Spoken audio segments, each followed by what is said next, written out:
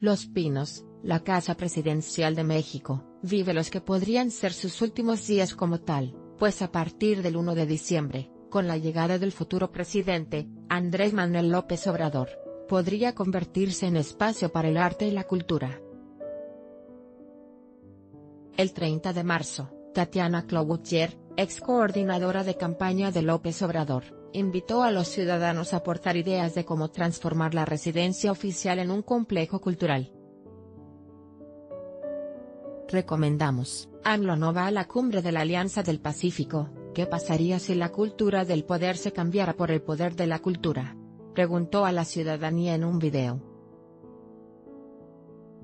A partir de ese día las propuestas no pararon de llegar al sitio web oficial, alcanzaron 232 ideas para el destino de la residencia oficial, ubicada en la primera sección del bosque de Chapultepec, con una extensión de 60 hectáreas y 56 mil metros cuadrados de construcción. El lugar 14 veces más grande que la Casa Blanca en Estados Unidos.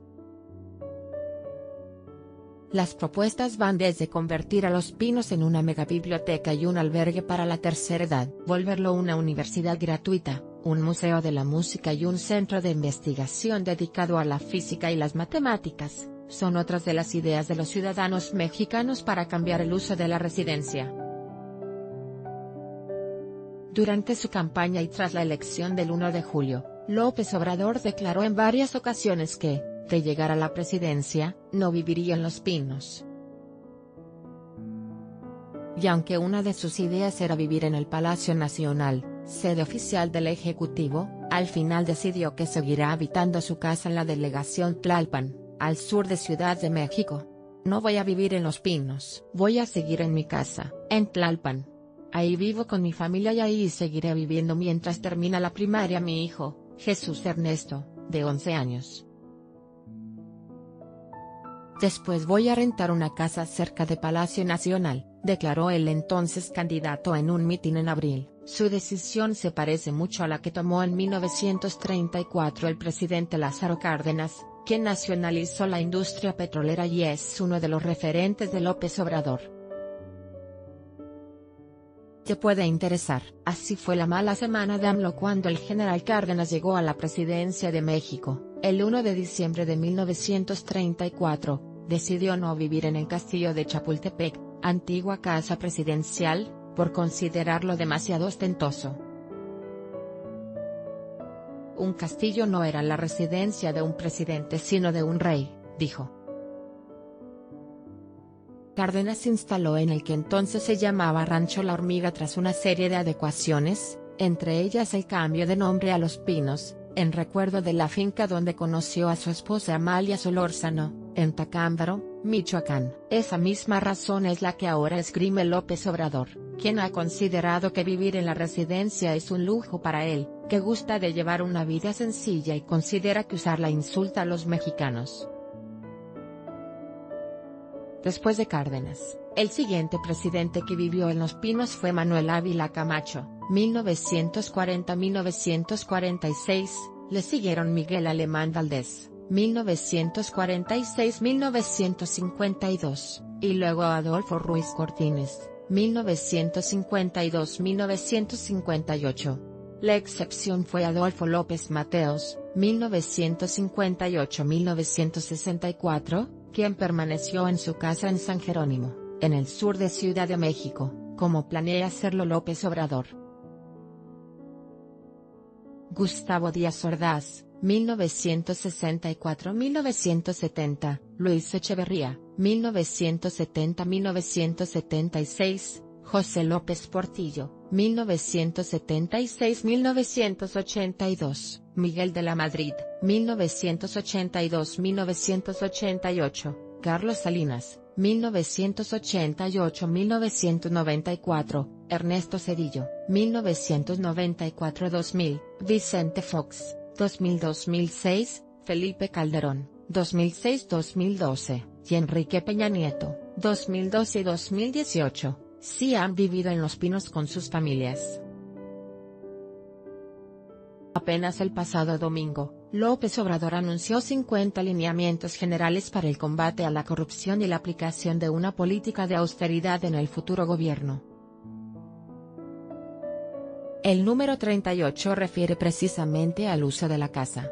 La residencia oficial de Los Pinos pasará a formar parte del bosque de Chapultepec y se convertirá en un espacio para el arte y la cultura, se apunta en la disposición. López Obrador busca poner en práctica la encomienda de Benito Juárez, 1858 y 1872, para todos los servidores públicos, que el funcionario aprenda a vivir en la justa medianía. Más noticias en MSN. AMLO sube de tono su confrontación con el Nevimbo suspende distribución en Acapulco por inseguridad. ¿Qué consecuencias tendría la desaparición de los pinos?